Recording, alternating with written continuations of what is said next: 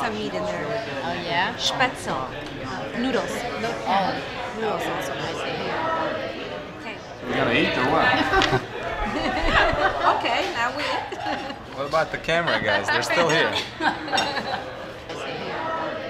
Okay, bon appetit.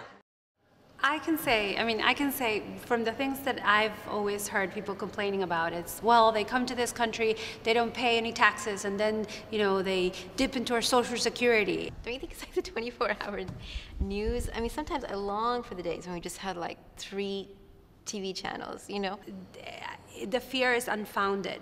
You know, we've had waves of immigrants for hundreds of years. This country is built on immigration. And I do realize that, you know, we need to set some limits and that there needs to be legal, you know, that, that there has to be a way to find a balance. Sitting here tonight at this table, I just realized how similar people are and how how it's funny to label somebody Bosnian or Vietnamese or it's we all have this common thing. We we want to work hard. We want to build our businesses, and and and that's the common uh, common. Uh, factor in all of us. At the end of the day, we're all the same.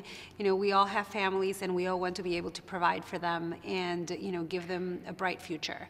And, um, and you know Americans or Indians or Vietnamese or Peruvians or you know Bosnians or whatever we might be, we have a common goal, and that's just you know the pursuit of happiness. I'd like to say in conclusion that I mean this this country was built by immigrants. Everybody that came to this country was an immigrant at some point, and that's that's why this country is so strong and so prosperous because it was built by immigrants.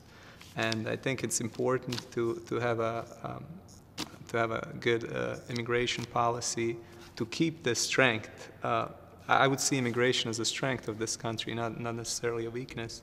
To keep this immigration uh, going and um, uh, bring in people who have who have different perspectives in life and that's and that's how we can keep the prosperity going. Yeah, it's kind of late. All these lights. I mean, you lose sense of time. Is it early morning? Is it? You know. Are we set? All right. We're good. I don't know.